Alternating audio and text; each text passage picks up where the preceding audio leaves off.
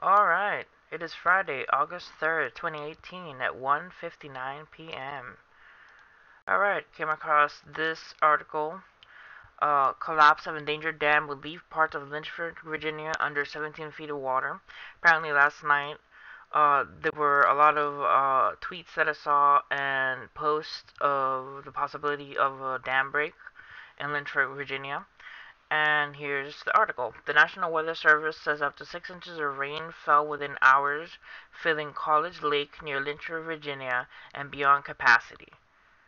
A failure of the College Dam could allow could flood parts of Lynchburg, Virginia, with 17 feet of water in just seven minutes. Official, officials in Lynchburg and South Central Virginia warned that a local dam faced imminent failure and its collapse would inundate parts of the city with 17 feet of water in just seven minutes. Most at risk were some 124 houses in the city of 80,000. Lynchburg is located in the Blue Ridge Mountains, about 50 miles from Roanoke.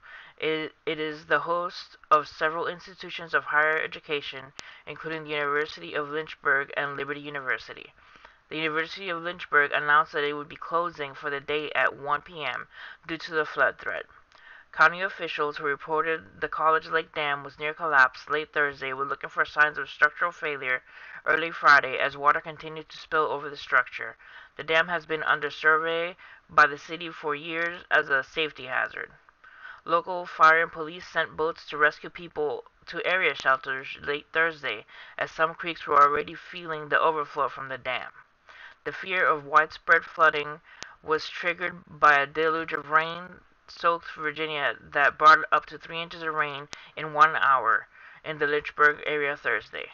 The National Weather Service warning of dangerous situation said early Friday that runoff from Thursday's heavy rain will continue to cause flooding across the area, and additional heavy rain may create new flooding. The Weather Service has extended a flash flood warning for the region Thursday through Friday evening because of the possibility of additional showers and thunderstorms.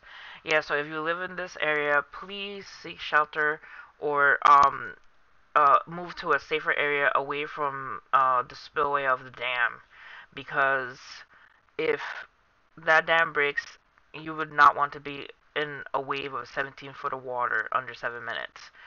Um, yeah, just wanted to share that information out, and if there are still people, because the the news had already been shared, but if there are still people who have not been aware of this information, you know, it's good to share that and help save some lives. Alright, next article. Deadly flooding displaces more than 120,000 in Myanmar. Heavy rains to persist into next week. Recent monsoon downpours have caused significant flooding across Myanmar, killing at least 16 people and displacing more than 120,000 others. Three of the fatalities were soldiers that were swept away in flood waters during a rescue operation, according to the country's disaster management department. The number of deaths and those displaced may be higher as flooding has delayed the arrival of rescue teams to some of the most impacted areas. Daily downpours have inundated much of the coastal and southern Myanmar since the, since the start of last week, and little change is expected in the coming days. You see here the map of uh, showing the darkest green of the heaviest downpour in the areas close to New Delhi, Lucknow, and Kolkata. Yeah, there's a lot of rain happening in China and parts of India right now. So much rain happening on this planet right now. I don't know if it's because of the the melt of the ice caps that more rain is being added to to our system on the planet, but there's a lot of rain happening.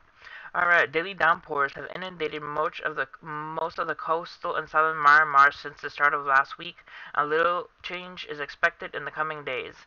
Members of Myanmar rescue team carry residents in a boat to travel along a flooded road in Bago about 80 kilometers or 50 miles northeast of Yangon, Myanmar, Sunday, July 29th, 2018. You see people here, it's the water's about waist deep and people in boats, the rescue people um, car carrying people in boats to safety.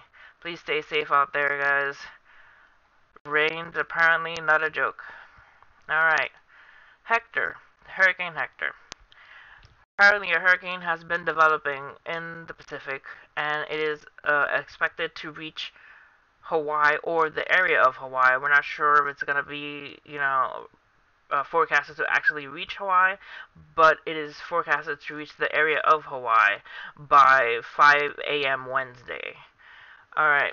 At 11 a.m., the National Hurricane Center said Hurricane Hector had weakened slightly, but is expected to strengthen and become a major hurricane. As of the latest advisory, the center of Hurricane Hector was located about 1,780 miles east of Hilo, Hawaii. Okay, maximum sustained winds is 90 miles per hour, movement west at 12 miles per hour. Here you see a little map of where it was last mapped at AM Friday, of 5 a.m. at uh, 5 p.m. Saturday and 5 a.m. Sunday. It's expected to get go to the west and by 5 a.m. Wednesday, it, it should be really close to the islands. Alright, um, let's look at a IR loop of Hector. It is forming an eye.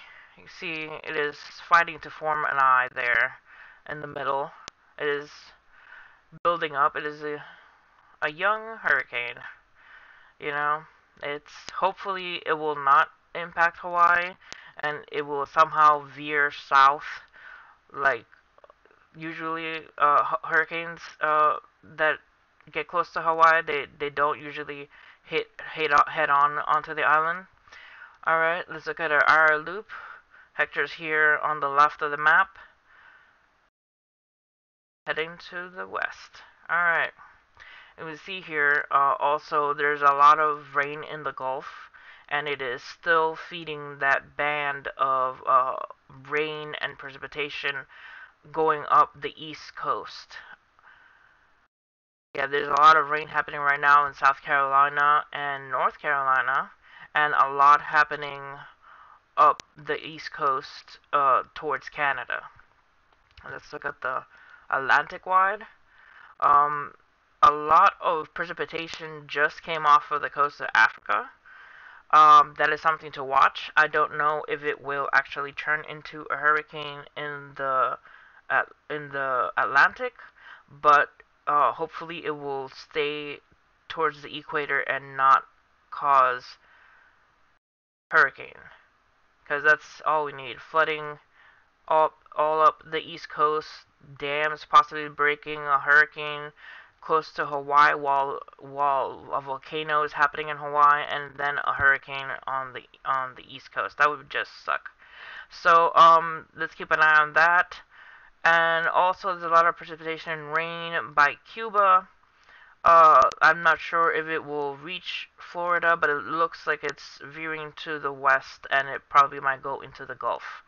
Alright, that's it for today's video. Thanks for stopping by.